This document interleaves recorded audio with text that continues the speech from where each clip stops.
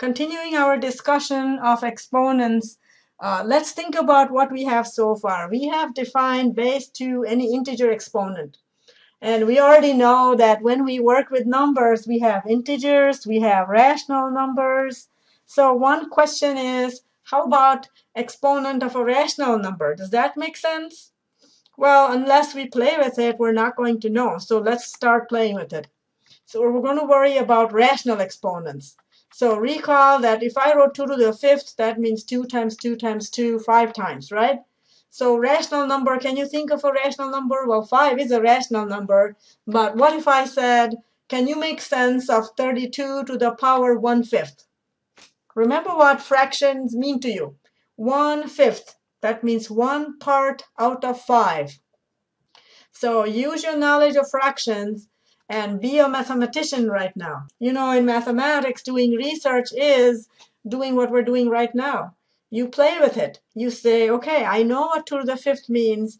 Do you think I can make sense of 32 to the 1 fifth? And you say, okay, 32 to the 1 fifth is, and then come up with your answer. And if it is consistent with all the other things we've done, then we're good to go. So that's how mathematicians do research. At a higher level, this is exactly what you're doing right now. So no matter what your answer is, do spend time and give us an answer. All right, let's see what we can do here. We know that 32 is 2 to the fifth. And so 2 to the fifth to the exponent of 1 fifth. We already know that if you had 2 to the fifth to the second, we multiplied these. So if you do that now, what do you think will happen? We'll end up with 2. And that would make sense because 32 to the power 1 fifth, 2 to the fifth. When you take a power of 5, you take this many, you take five twos. You take this many twos. So now we want to know, I want a fifth many of 32s. But 32 has is made up of five twos. So a fifth, there are five twos here, right? A fifth of them would be just one two. All right, so that was our motivation for how to work with fractional powers. But the real motivation comes from uh, something geometric. So remember how we talked about area of a square is length times width. A times A would give me A squared, right? So area is A squared units, and the length is A. When the length is A and you have a cube, then the volume is A times A times A, or A cubed. Here's an example of exponents being used practically, right? So now, what if you want the opposite? What if you know the area and you know the volume and you want to know what the length of the square or the cube is? So a to the power 1 half units, when a is a positive real number, can be looked at as length of the side of a square of a square units area.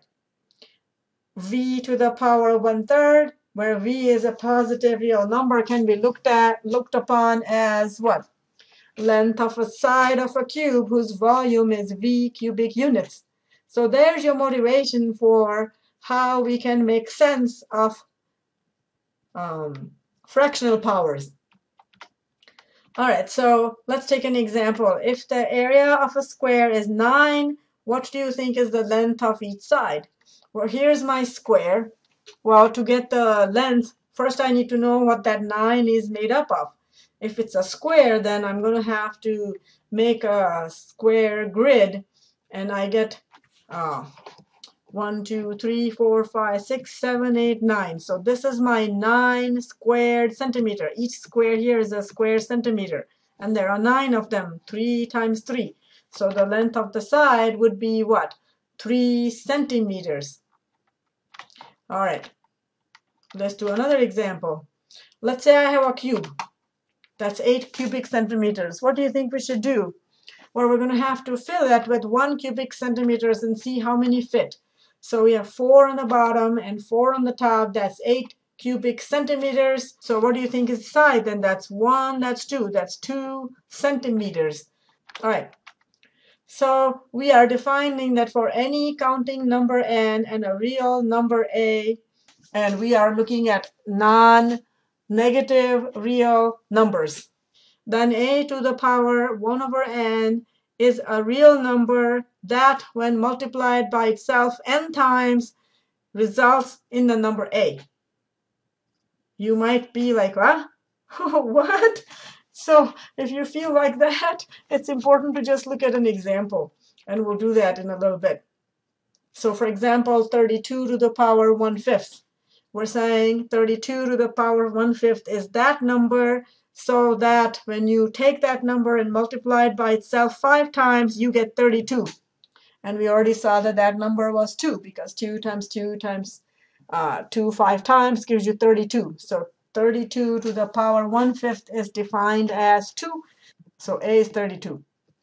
So now note, if you have a to the power numerator denominator, numerator is m, denominator is n, then that is saying that it's a to the power 1 over n multiplied by itself m times. So it would look like this. Okay? You can also think of it as a to power m raised to power 1 over n. Either one of them interpretations are fine. All right, let's take a look at example then. So a to the power 7 thirds, what's that? That's the same as saying a to the power 2 and 1 third. So if you have an improper fraction, you can write that as a mixed fraction. You already know what a square means. So you have a squared times a to the 1 third. So we can always write rational exponents in such a way that the numerator is always smaller than the denominator. And you have to use uh, mixed fractions for that. All right, let's do that. So we already saw 32 is 2 to the fifth. So 2 to the 5 fourths is 2 and 1 and 1 fourth. This is going to help you later immensely. So make sure you know how to change uh, base to an exponent that is improper fraction into a mixed fraction and rewrite it. Rewrite it so that you have um, base to a whole power and base to a proper fraction exponent. And then, of course, if you have a number, then 2 squared we already know is 4. So I can rewrite that as 4 times 2 to the half power. And when you have a number, 2 squared, then you can evaluate it as 2 squared is 2 times 2 or 4. So you can rewrite it like this. So you have the whole part here, and then you have base to a fractional exponent, which is a proper fraction. Do this homework.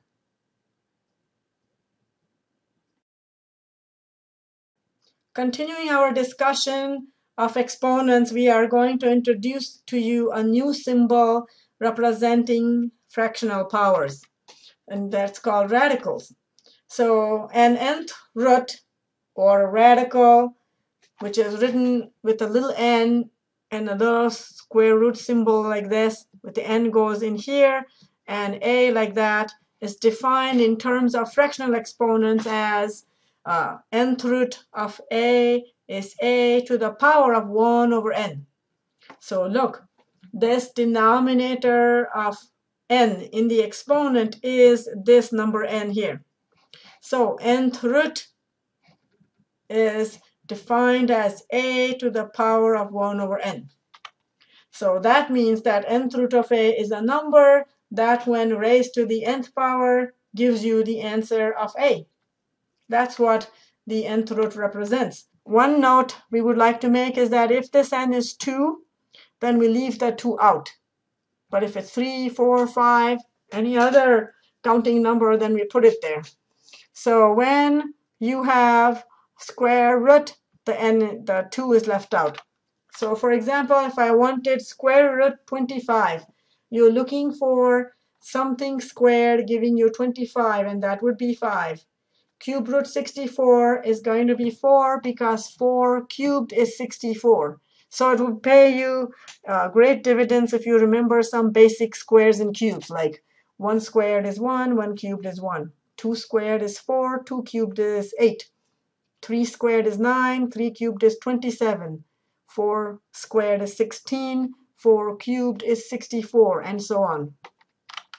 Negative 8 we know that negative 2 times negative 2 times negative 2 is negative 8.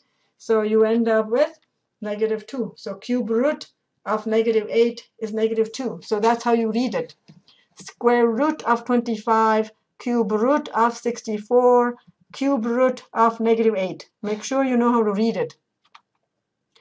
Now, square root of negative 4 is what? Well, negative 4. Anytime you have a negative inside a square root, it's going to turn into an i.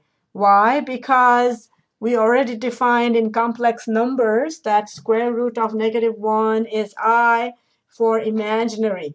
And so square root 4 is 2. So square root negative 4 is defined as 2i. And why? Because when you square it, 2 squared is 4, and i squared is negative 1, because i is defined as square root of negative 1. All right, so in the notation nth root of a, a is called the radicand, N is called the index. So this A that sits on the inside of that symbol is called radicand. This is called the index. Again, just like we made sure you understood base and exponents, you want to make sure you can identify radicands and index. So that symbol is called a radical. When the index is 2, we call it square root and leave the 2 out and use just the radical notation. When the index is n, we say nth root. So that would be cube root here. Can you see? So that would be cube root. This would be fifth root, and so on. All right, so go ahead and uh, give us the radicand index and how to read it, how you would read it out loud. Write it in words here, please. So 25 is the radicand. When there is no number here, that means index is 2, and you would read that as square root of 25. So go ahead and do that for all of them. Pause the video here, do the problems, and then check.